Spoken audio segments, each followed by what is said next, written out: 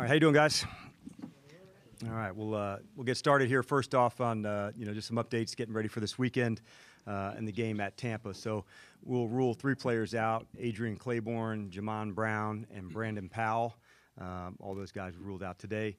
Uh, we also um, signed Chris Cooper, um, brought him up from the practice squad. So um, last piece we had uh, for our Tommy Nobis jersey winner, we thought uh, Matt Schaub, you know, for this week. This is a guy who's uh, stood, you know, for the all the right things for many on this team, and we thought what a, you know, classy example for that, and the team uh, certainly agrees. So. Uh, heading to this matchup, both teams played well, and uh, you know both teams over the last seven games, five and two, and all sorts of matchups. So, uh, you know, I like to focus where the guys are at, and looking to finish this block, you know, really strong. So, press conference a, on a Friday usually has about four of us. So I see there's considerably more than that today. So I'm uh, figured you must have some questions. So we'll uh, we'll open it up and get ripping. Yeah, Coach, um, uh, you know, your, your thoughts on getting the news from the owner and, uh, having the owner talk to the team today, uh, after practice? Well, I'll share with you really, you know, kind of what I shared with the team. Um, you know, this morning I said it, it is because of you players. Not every coach gets to see his team fight for him and say they are, and I thought that's very humbling, you know, for sure. But as far as uh, you know, you know, with Arthur, I said number one, um, the reason I am so fired up is because uh, this has been the hardest and most invaluable year for me uh, as a coach ever. Um, I've made mistakes, and we get to fix them, and I think that's an important thing. And use these lessons here, and not everybody else, you know, always has the chance to do that. So. Um, I certainly hate the results, but man, I learned a lot, and uh, I'd say more than anything, I can't wait to apply, uh, you know, the things that I've learned with this team and moving forward. So um, that's what I'd say from you know his visit today and, and what I discussed with the team. He said, uh, I talked to him, uh, he said, you know, your ability to be self-aware and reflective, uh, you know, led to, um, you know, the decision and, and probably to the team being able to, you know, get things. I would say that's that's a nice comment to hear. Uh, do you agree with it? Oh, I'm sorry. I thought you. Um, well, I would say. Um, Important during this Yeah, well, I'd say- reflective and, learning and, and. Yeah, I say there was a lot of change heading into our season. I certainly take responsibility for that. You know, three new coordinators, and uh, you know, for me, certainly, I felt like I took on too much um, at times. That's being head coach, defensive coordinator, trying to work with the DN. So I learned that, and I fixed that. And uh, I wanted to make sure that. Um, you know, I was able to do that, and I'm excited to get rolling. Um, we got a lot of good pieces in place. Uh, I think we laid a good foundation over the last eight weeks of what that would look like, especially for me. And uh, so that's why um, I recognize when there's a problem, I'm not somebody to sit back on my hands and not do anything about it. Coach, are you going to be open at all to maybe looking at changing the way that you all approach things in the months and weeks leading up to the season, given how the team's, you know, started in the past couple of years? Yeah, I think you know that'd be a great question for next week. But you know, for sure, we're going to you know dig into every single you know part that we can evaluate and look at. And uh, so yeah, ev- nothing's not on the table. You know, we're going to look at everything. Obviously, the you know having the start we did makes it almost uh, impossible to get back and battle for what you want to. So, uh, like I said, I hate the results, but man, I learned a hell of a lot, and uh, I'm already ready to apply some of those lessons, but you don't get to do that just yet. But uh, yeah, there's nothing that we wouldn't look at to see how can we do it better. Coach, you talked, um, Raheem Morris is gonna be doing the defensive coordinator Right. next season. Are you inclined to stick with Dirk Koetter as your offensive coordinator for next season? Yes. Can Yep. you Talk about those. Yeah, I think that'd be a great one for next week, Vaughn. Like honestly, um, we'll get we'll get together Monday and, and have a good visit about the staff and where we're at and you know what we could do. But uh, for us, really, the focus right now and over the next couple of days, you know, will be on the team and our game this weekend. But uh, no doubt, I'll get into that, you know, you know, with you a whole bunch next week. For both of you, um, what are your thoughts on the new structure uh, in place for where you'll be report- reporting to Rich McKay as opposed to directly to Arthur? Well, I think number one, we- like we already have a good working relationship with Rich, so this is not like somebody that uh, Thomas and I don't, you know, already spend a, a you know, a bunch of time with and, and enjoy doing so. So uh, I think for both of us, I don't want to speak for Thomas; he can comment on it for sure. But Rich is a good football guy, and uh, he has been for a long time, and so we lean on him already for a lot of things. And so to have him here, um, you know, more, I think that's a good thing. Thomas,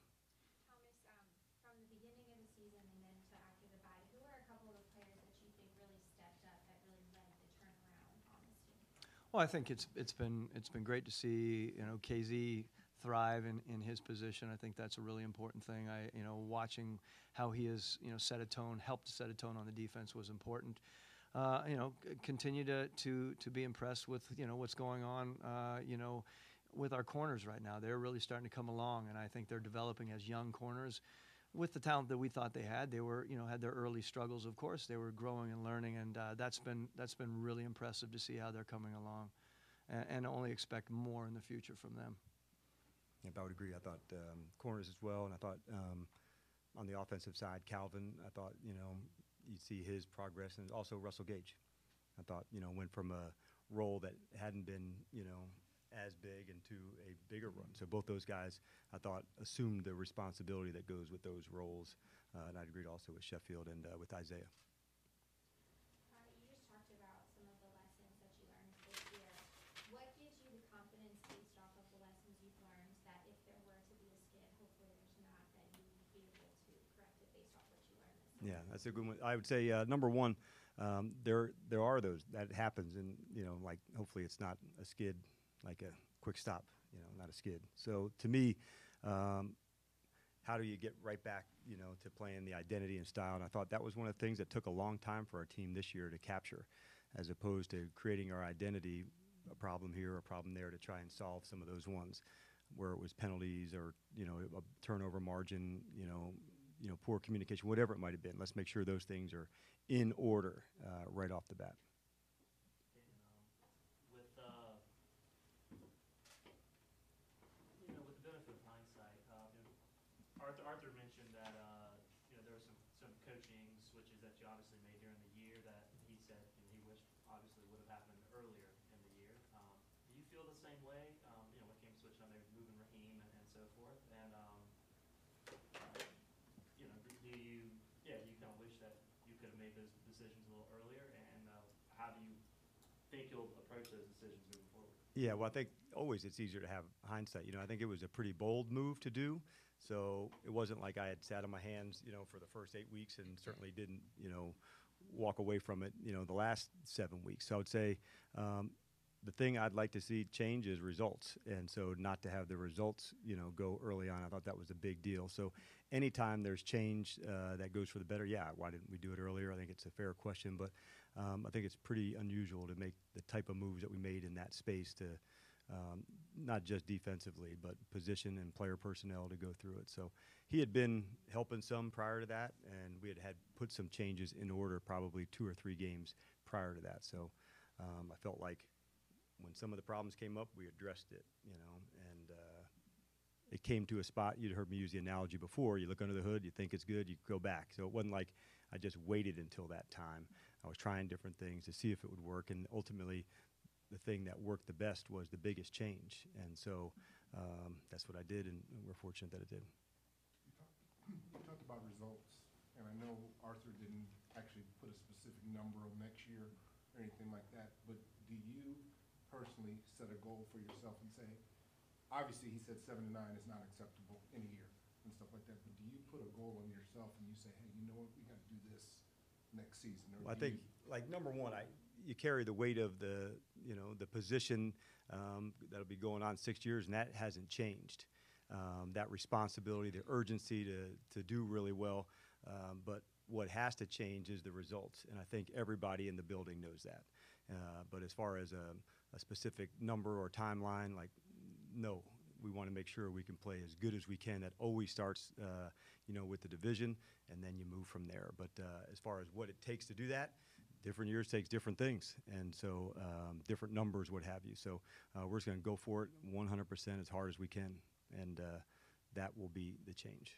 Dan, how do you weigh the significance of going five and two in the second half versus the fact that it came at a time when the games really ceased meaning and in the standings? I mean, how much weight do you give moving forward?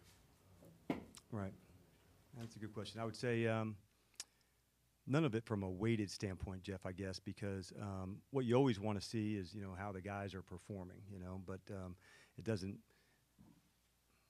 You know, at the end of it, it's still the same volume and number, and so I guess I look back to say why. You know, and like everybody, fans and everybody else say why the you know the big shift and how could that take place, and but as far as a wait for it, I, I don't think I have a good answer for that. Um, other than that, it just took our team longer to get their identity up and going.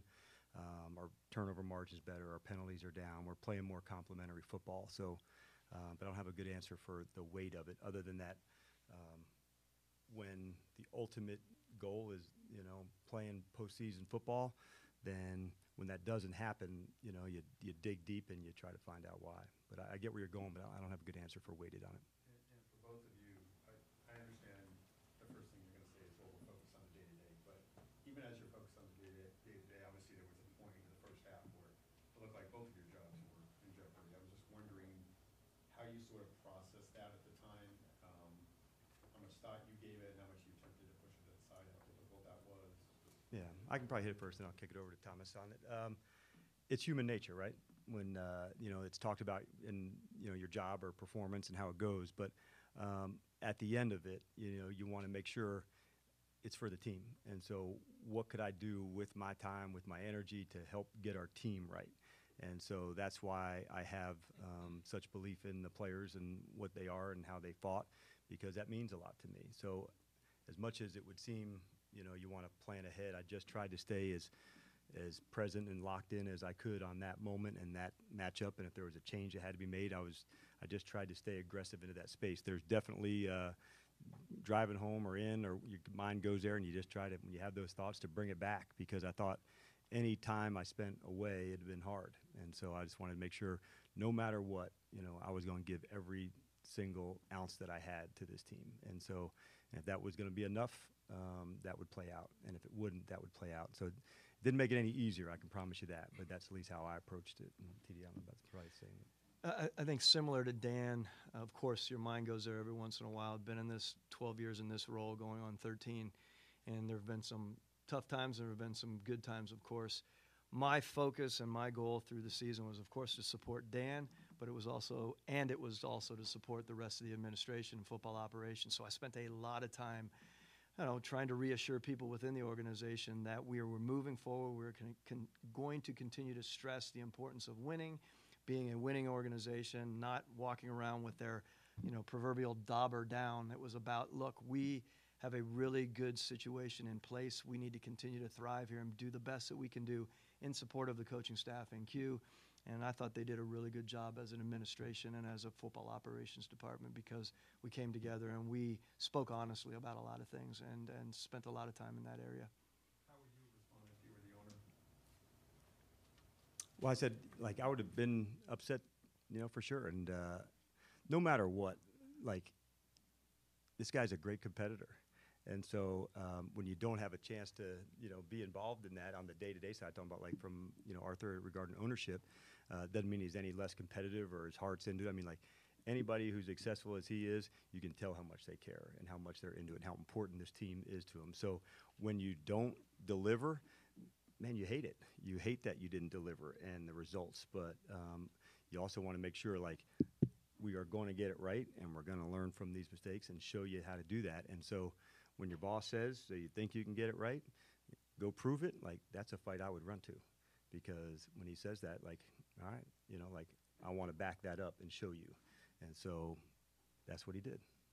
Thomas, uh, Rich briefly spoke on this earlier, but um, I wanted to get more from you. I know we'll talk about it more as the offseason goes on, but um, just from a cap situation this offseason, uh, Rich said he's not worried about it, but um, just your thoughts on where you guys are at from a cap standpoint and getting you the, pe- the extra pieces that you might need.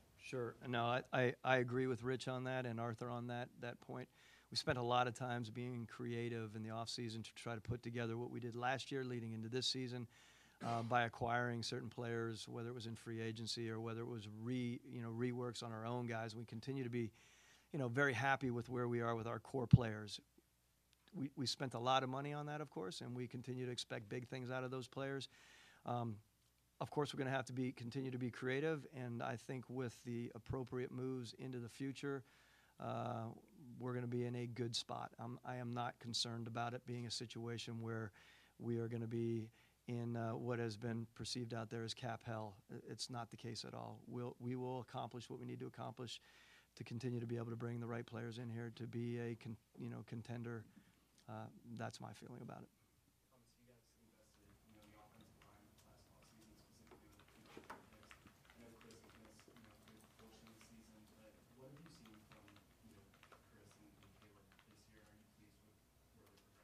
Well, I really like where our, our right side of the offensive line is progressing as a youthful group, of course. And to watch both of those guys play off of each other, not only are their personalities, do they work together, but their mindset and their approaches work together for sure. They're both hard charging guys, very, very determined. And that's fun to see next to a guy who has a ton of experience in Alex Mack. So I think that whole right side is really starting to come together and only expect it to come together exponentially more going into this into next season. On the left side, of course, we continue to, to grow. Of course, Jake is is a, a really sound individual on our left tackle situation, and again, offensive line wise, like like any position in uh, on this team, we'll continue to, to always look and, and continue to improve the, the depth along the offensive line as well as a lot of the other positions. Uh, Arthur spoke at at great length about his belief that the um, patience pays off in terms of keeping a a management team together, coach and, and and GM. And he even mentioned that, you know, uh, an example of the Saints sticking with three straight seven and nines with, with Payton. Are- Are, are you aware in your fraternity of coaching that maybe this is a, a rare thing to have that kind of patience as, uh, in the ownership position? Well, I would say, you know, number one, to be as successful as he has, I, you know, he recognizes, you know, that for sure, you know, from lots of different examples from his background. Um, I don't know. I, haven't really, like I said, it's a lot to process in terms of, uh, you know, looking too far down the line. I've tried to stay in the moment of where we're at. Um, I do know, like, um, you know, there's been some coaches have had, you know, stuff together, but had to go and prove some le- lessons elsewhere, you know, whether it was a second or third experience. So for me to have the chance to do that here and apply them here with him, um, that means a lot to me, a hell of a lot. You know, like I want to win the championship here for him and with him because of his belief. And so that won't ever stop. And uh, he's a big pe- reason of why I wanted to come here. And uh, he's a big reason of why we want to kick ass and do right here. So um, that's what we certainly plan on doing. When did Arthur notify you, both of you, that you were in the plans for 2020?